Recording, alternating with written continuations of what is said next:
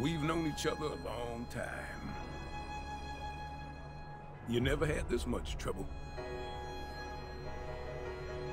You gonna make it through this, Dante?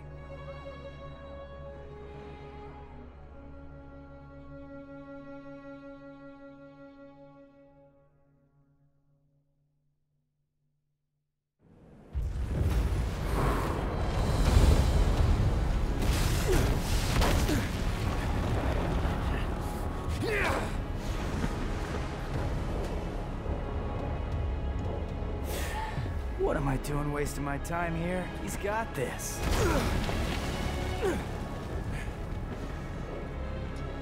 You should not underestimate this demon.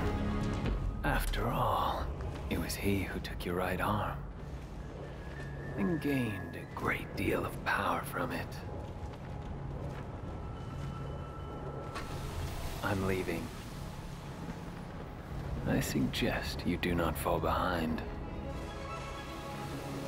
Yeah. Okay, V. You're an interesting guy, but you're right.